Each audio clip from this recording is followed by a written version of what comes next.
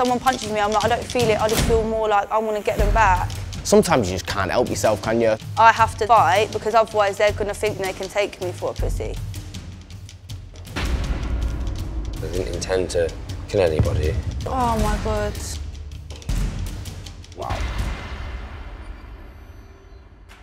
What I love about going out is having fun, letting your hair down, having no worries. I just like to go out and lose myself. I'm supposed to be having a drink, I'm supposed to be dancing. After a few drinks, I would say I'm quite loud, rowdy. I don't care who's around, I just think it's all about me. I feel like with the alcohol as well, that adrenaline is already flowing. I sometimes start taking my clothes off when I'm drunk. When they see me walk into a bar, the staff probably think, oh, for God's sake, here she comes. My sort of banter has gotten me into uh, trouble once or twice. If I see that one of my friends is getting started on or getting pushed into, I will not have it. I'll just literally just go from zero to 100, shout in people's faces, throw drinks, start fighting, punching. Yeah, you have to keep an eye out for your friends, don't you? I'm kind of like the Grim Reaper because I'm sort of just waiting for somebody to cross. I've had my extensions pulled out, I've had a girl bang my head off the table. Sometimes you just can't help yourself, can you? Sometimes all it takes is for one little thing for somebody to flip the lid and then next minute you got a broken nose, haven't you? It wasn't even a thought process, it was literally like I just grabbed her,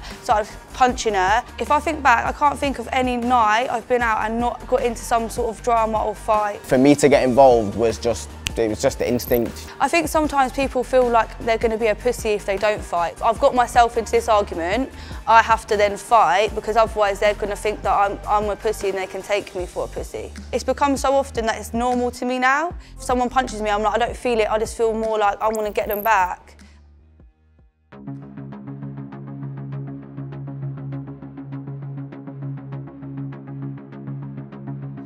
How's it going? How you doing? Okay.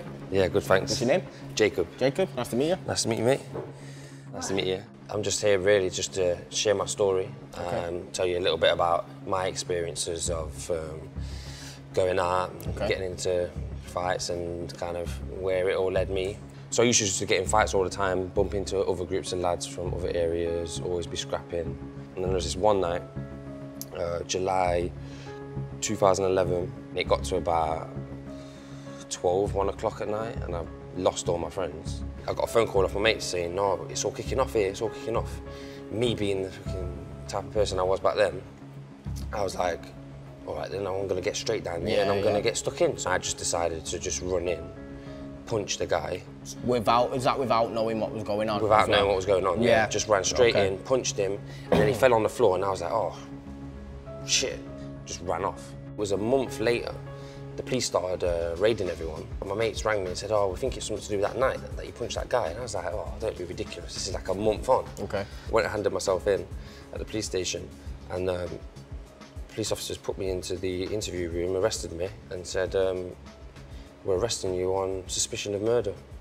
Kidding. No, That lad had died that lad died from the punch. from the punch. From the one punch, he hit his head on the floor, and um, Wow. they realised that he had uh, swelling on the brain. He'd fractured his skull. Nine days later, um, he passed away. Oh shit. Went through the court system, ended up getting dropped to manslaughter because Yeah. what had ended up happening, it was just one single punch. And I ended up getting um, like 30 months in prison. The sad thing about it is, is that was the first time that I realised that I had some sort of expectations for my own life. For your own life, Yeah, yeah. because up until that point, I didn't really care about anyone or anything. Yeah. So that's um, that's James. He was a trainee paramedic. So he was like planning on trying to save people's lives going forward. Does that haunt you in a way? Yeah, it does. I'm on a. I'm trying to. The biggest battle I have now is forgiving myself.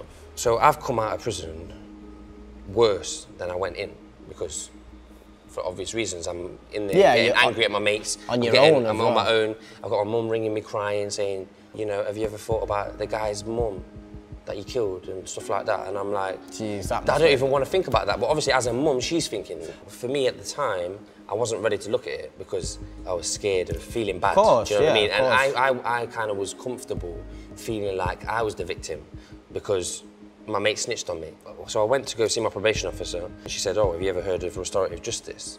And I was like, "No, what's restorative justice?" And she said, "Well, basically, the mum and the dad of the man that you punched want to speak to you." And I was like, Wow.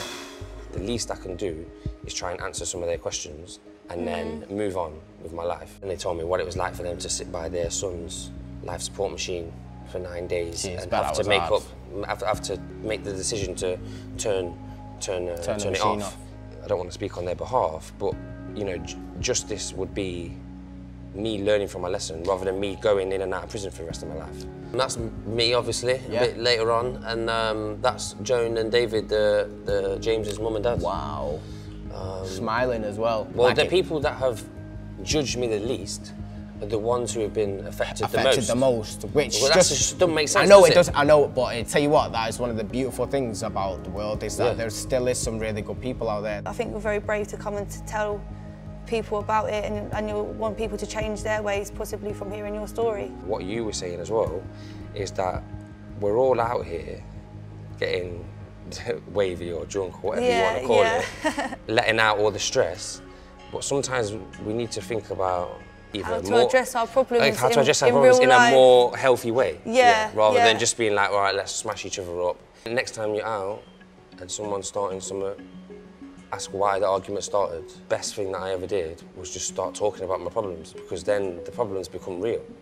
Definitely makes me more cautious about going out and more con- more considerate Yeah. a little bit more than I already am. After this, I'm definitely like going to rethink everything that I'm doing. Do I need to start this argument? Or do I need to get in their face? Or do I need to? Yeah. Like, I will be rethinking like little scenarios. So thank you so much. Yeah. It's nice to It's- meet It's a you. pleasure to meet you too. Yeah. And thanks for being so open and real with me as well. Yeah, always. thank you. Thanks a lot. Thank you. Thanks a lot. Seriously, thank you.